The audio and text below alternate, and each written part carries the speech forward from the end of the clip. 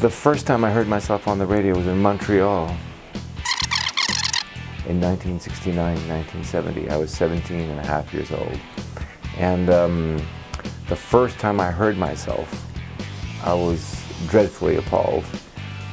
There wasn't enough piano. Uh, I didn't think the drums sounded very good.